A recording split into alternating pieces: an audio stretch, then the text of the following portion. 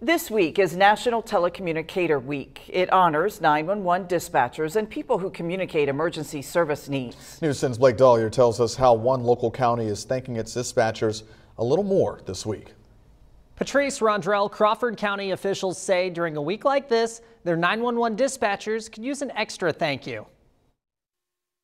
Crawford County Sheriff William Rutan says during the toughest of circumstances, his public safety dispatchers have done very well.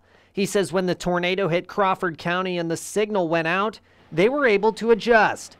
He says dispatchers took people's information and messages for help. There were several people that they saved. Um, it, it's it's phenomenal the amount uh, that we rely on these people to, to help us, um, which is uh, that's what they're here for, and they, they, they enjoy doing it. Rutan says with Telecommunicator Week falling just a couple weeks after the tornado, it's even more important to say thank you. They put their heart and soul in this, they're dedicated, and they are here to help everybody.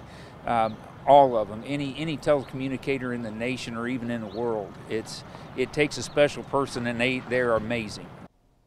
Fortunately, the dispatch line wasn't down for long and messages did get through the night of the storm. Rutan says dispatchers were able to navigate one of the most hectic nights of their careers. Patrice Rondrell, back to you. I can only imagine. Mm -hmm. Thank you to them.